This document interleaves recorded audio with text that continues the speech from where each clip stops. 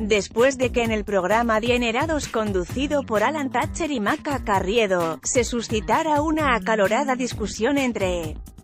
Maca y el actor, Alfredo Adame, cuando ella insistía en preguntarle a Adame sobre por qué discutía con sus ex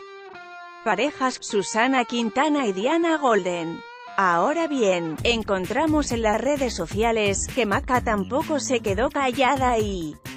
empezó una guerra de declaraciones contra el conductor, entre la más polémica está que lo tacha de mecha corta, refiriéndose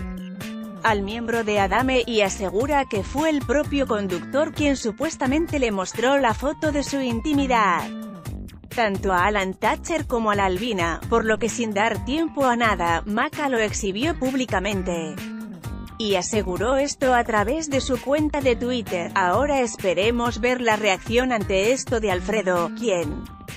conociéndolo no se quedará con los brazos cruzados y Maca tendrá que enfrentarlo de nueva cuenta.